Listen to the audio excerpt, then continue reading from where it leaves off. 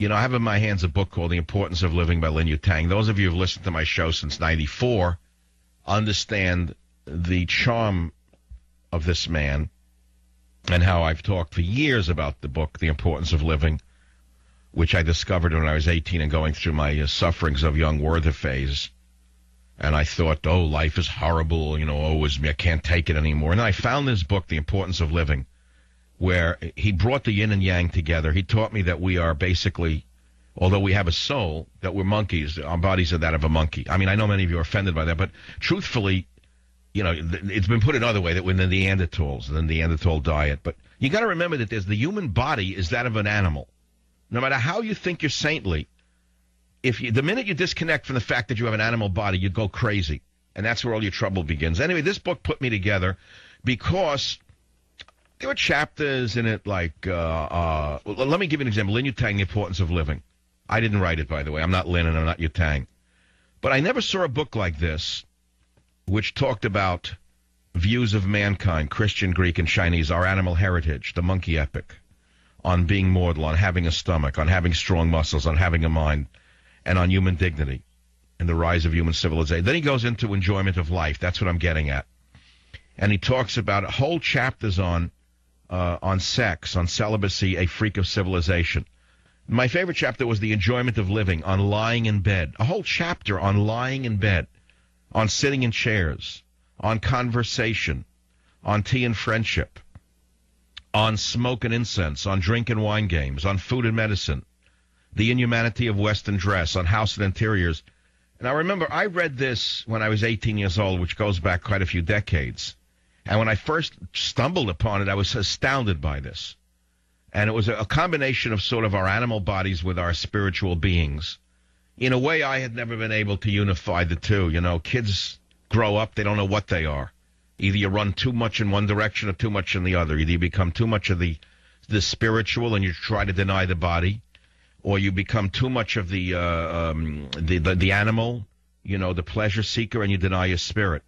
And this book, for me, brought it all together. And one of the favorite parts for me was uh, Chin's 33 Happy Moments. And I don't know if the people listening to this show, since I'm in a sort of different mood today and I had enough with Obama. This stuff was good stuff, and it was the happy moments of a Chinese as described by uh, a 17th century playwright in China named Qin Sheng Tan. And he wrote about, he sat with his friends when they were locked up in a temple for 10 days on account of rainy weather, and they thought about what were the truly happy moments of human life? Moments in which the spirit is tied up with the senses and he writes about them, and I'm not going to read all of them to you. I'm going to give you a taste of some of them, and you'll see if you get a kick out of them. Here's one. See if it strikes you as a happy moment in your life. I wake up in the morning and seem to hear someone in the house sighing and saying that last night someone died. I immediately ask to find out who it is and learn that it is the sharpest, most calculating fellow in town. Ah, is this not happiness? Remember this? Remember he wrote that happiness does not consist in the flights of poets, uh, of that kind of thing, but happiness consists in getting your hair cut every two weeks and, and watching your neighbor fall off the roof. That's what I was trying to talk about. In other words, that's human nature. Is this normalcy? And also, if you get pleasure in seeing someone you hate fall off a roof, don't be guilty about it. Everyone likes to see their evil neighbor fall off a roof. Here's another one. Wait. Um, da, da, da, I, it has been raining for a whole month, and I lie in bed in the morning like one drunk or ill, refusing to get up. First of all, that unto itself is beautiful. We work so damn hard in America. We never lay in bed. We think it's bad for our hearts. The opposite is true. I actually, I'm a big believer in laying in bed. I believe that laying in bed is way underestimated. I think we're just crazy with our running and our dashing and our this and our that. Anyway, listen to this one. It has been raining for a whole month, and I lie in bed in the morning like one drunk or ill, refusing to get up. Suddenly, I hear a chorus of birds announcing a clear day. Quickly, I pull aside the curtain, push open the window, and see the beautiful sun shining and glistening, and the forest looks like having a bath. Ah, is this not happiness? Okay? Let's see then. Here's another. I got a few more. It's so disconnected from today. Here, I love this one. To cut with a sharp knife a bright green watermelon on a big scarlet plate of a summer afternoon. Ah, is this not happiness? You get the picture? In other words, can you see a, a, a watermelon on a hot day and just cutting it and get pleasure out of it. That's what he's talking about. We've lost this. We think that because the ad men have so jumbled our brains, the madmen, the advertising, that we have to go somewhere to find happiness. We have to buy something to find happiness. We all know that that's rubbish. I've long wanted to become a monk, but was worried because I would not be permitted to eat meat.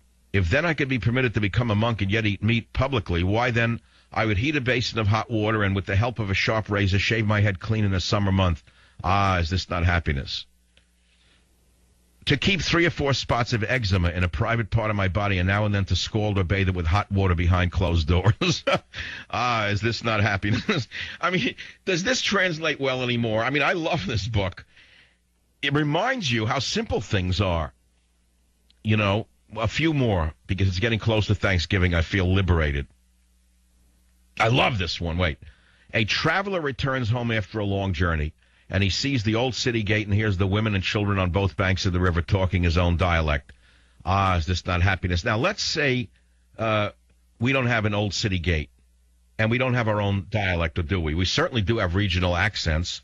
How about when you've been on a long business trip and you come back to your city or your town and just the sound of the horns and just the sound of the cab driver, even if he's from Bengali, even if he is a Bengali, isn't that what makes you feel good and at home and happy? That's what we're talking about. Here's a nice one. I am not a saint, and I am therefore not without sin. In the night I did something wrong, and I get up in the morning and feel extremely ill at ease. Let me. Okay, I am not a saint, and I'm therefore not without sin in the in the night I did something wrong and I get up in the morning and feel extremely ill and ease about it. Suddenly I remember what is taught by Buddhism that not to cover one's sins is the same as repentance. So then I begin to tell my sin to the entire company around, whether they are strangers or my old friends. Ah, is this not happiness? Sort of sounds like like Oprah. Here's one that I've really lived by. This is me. To open the window and let a wasp out of the room. Ah, is this not happiness? That's a good one. Have you ever let a wasp out of a room or a fly and felt something? Huh? I have. I, have done that. Uh, to see someone's kite line broken. Ah, is this not happiness? To see a wild prairie fire. Ah, is this not happiness? To have just finished repaying all one's debts. ah, is this not happiness, Obama? now, if he went to China and said, I'm finished repaying my debts, by the way, see if you can collect it. Then I would say I would love the guy. You know what I'm saying? To end that little. If he if he could go to China and say, you know what? Let me tell you something. We owe you a couple of trillion dollars. You owe a whole lot of our T bills. You own them. But let me tell you something, Charlie. Here's the way it's going to go down. We ain't paying you. We can't pay you. You're never going to collect. But I'm willing to negotiate right now 10 cents on the dollar. Then I would say, ah, is this not happiness? Here's another one. Listen to this. This kept me going for, for decades. Only those who take leisurely what the people of the world are busy about can be busy about what the people of the world take leisurely.